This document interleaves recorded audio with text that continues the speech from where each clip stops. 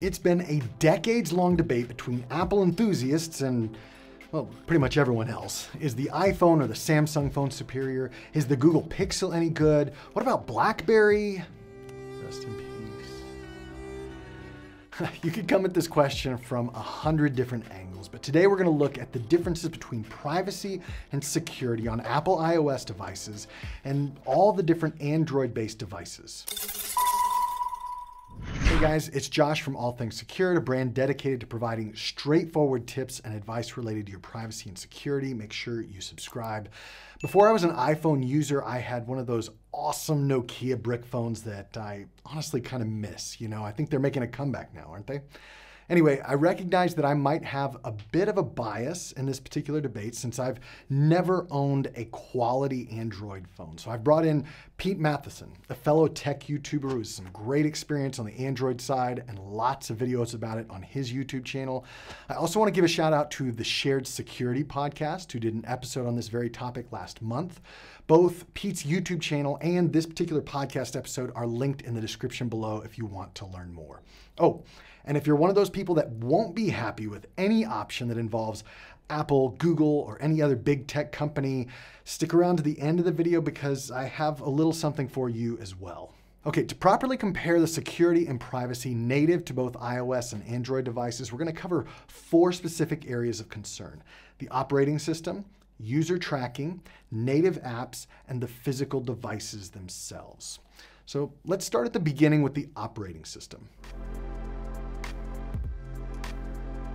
The operating system, also known as the OS, is the software that runs or operates everything on your device. If you don't have an OS, your phone won't boot up and function. Now, there are a lot of things that could be said here, but when it comes to your privacy and security, there's one primary principle at play here. The more links that there are in a chain, the more opportunities there are to introduce a weak link. What do I mean by that? Well, what Apple introduced with its iPhone back in 2007 was an integration of hardware and software, which is something that we tend to take for granted nowadays. This native integration allows for a lot more control, which I can I admit that can be both good and frustrating. But as far as security and privacy is concerned, most people refer to what Apple has built as a walled garden. That tight control over the iOS and its security is in stark contrast to Android phones, whose operating systems are often three levels deep. First, you have the foundation of the Android OS, followed by the phone's manufacturer's configuration of that OS, which could be uh, Samsung, OnePlus, Motorola, any of those others. And finally, there's sometimes even a layer from the network provider like Verizon, Virgin Mobile, etc each layer adds a bit of complexity and vulnerability to the operating system, not to mention a lot of other variables that Pete even shared with me. Whereas on Android, it's very, very different from you know, platform to platform. Some of the phones even have adverts embedded within the system itself at the operating system level. So as you're scrolling through settings, you're scrolling through adverts. The last thing I'll add in regard to the operating system is the frequency of security patches and updates. In this case, you actually want updates to happen as soon as they need to. And here too, even for Pete's Google Pixel phone, the monthly OS updates aren't very reliable. And even though those monthly updates have come out every single month, they've actually delayed some of them for whatever reason. Whereas I checked, and when I picked up my iPhone 13 Pro, the number of updates I've had since launch day, like minor updates, major updates, new features, and mostly obviously bug fixes, they just seem to be a lot more on top of releasing those smaller bug fixes to fix things. Okay, so that's the operating system. What about user tracking? Unfortunately, the features that make modern smartphones so attractive are exactly the same ones that make them scary when seen from the lens of personal privacy. You've got an alarmingly accurate GPS sensor, a camera and a microphone that can watch and listen to you wherever you're at, and of course, so much data about how and where you use your device.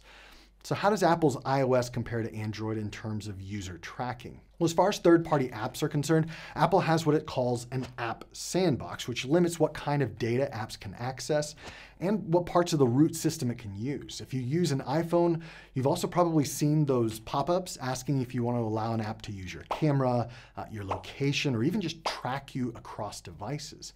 And unless it's absolutely necessary for the operation of the app, your answer should usually be no. What about Android? Well, Pete shared with me that a privacy sandbox is coming, but with Google, there's a bit of a conflict of interest. Google have announced they are making similar changes to that that Apple are making now, but they're implementing it in two years' time because, of course, Google sits on both sides of the fence. That fence he's referring to is the divide between the consumers who buy their phones and the advertisers who make up the bulk of Google's revenue. It's really a difficult balancing act. I will add that Apple still has that kind of balancing act as well, but for them, it's more on the regulatory side. Last year, there was a bit of a dust up when Apple quietly announced that they would start scanning the images uploaded to iCloud to monitor for child sexual abuse material. I did a whole video about it that you can watch right here, but in the end, Apple delayed that scanning update because of the vocal ba uh, backlash from privacy advocates. All that to say, when using either iOS or Android, I think it's best to simply assume that there is some form of tracking that is or will start happening soon. And before you start talking trash about Apple or Google, just remember that even if you use the dumbest of dumb phones, a network provider can still triangulate your position with or without GPS capabilities. The best thing you can do is just make sure that you're only giving permission for apps to use specific types of data or specific parts of your phone when they absolutely need it. Continuing on, we're looking at text messages sent on iOS versus Android. Now, to start, you need to understand that the old school SMS text message is not and never has been, never will be encrypted. Anything sent via SMS text message, even on a modern Apple or Android device, is not private. However, each service has its own closed off network that offers end to end encrypted messaging. For Apple, that's iMessage. For Android, well, Actually, it's different depending on the manufacturer, but they do have encrypted messaging. It's that blue chat bubble versus the green chat bubble. And the one you use often depends on how many of your friends and family are using Apple or Android devices. Listen, here's my two cents. I use the native text message feature on my phone every day for all kinds of regular communication. But when it comes to anything sensitive or truly personal, I prefer to skip iOS and Android altogether in favor of using a third-party app like Signal. It offers always on encryption, and you might be surprised how many of your friends and family already have a Signal account. The final piece of this puzzle is the device itself. When you're comparing iOS and Android, you have to take into account what I said earlier. Apple controls everything, whereas Android does not. And in this case, the advantage actually might lean toward Android here. As Pete says, it's very tempting when you see like the latest. You know, the, I've got the S22 um, Ultra here, and there's like three lenses on it. There's like a hundred times ridiculous zoom on it. There's these features you just don't see on the Apple platform until maybe two, three, four years time when Apple get to make kind of their version, uh, their improved version that, that works very well. And Pete's right. If you want cutting edge devices with the latest features, you definitely go with Android since Apple's going to take their time perfecting those features before it gets released onto an iPhone. But here's another aspect of this debate that most people don't talk about.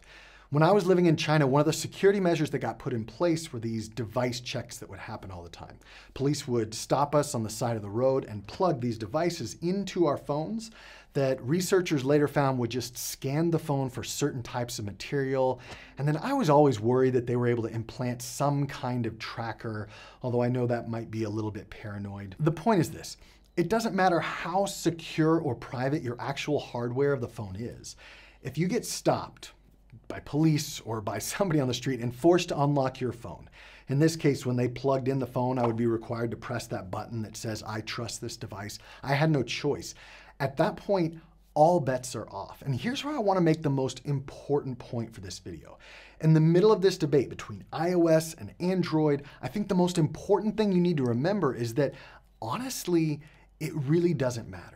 Yes, I think that Apple offers a few advantages over Android, but at the end of the day, if you're relying on your mobile devices so much that you're storing sensitive data, intimate pictures, or access to all of your financial data, then you're creating a risk that supersedes which operating system you use. And that includes alternative operating systems. Speaking of alternatives, what if you're looking at both Android and iOS and thinking to yourself, as long as Apple and Google have control over these operating systems, I'll never trust any claim of privacy. I hear you. I really do. I may be comfortable with an Apple phone, but that doesn't mean that you need to be. And if that's the case, you do have some options, including uh, Linux based systems like Tizen, or I think it's Tizen, I'm not sure, and PureOS, or even de Googled Android projects like Graphene OS, which I know has gained in popularity recently.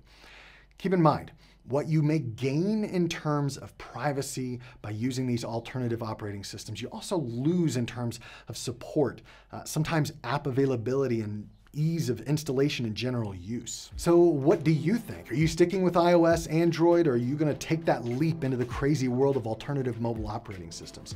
Leave a comment down below with your answer and don't just tell me which one, you've gotta tell me why you made that choice.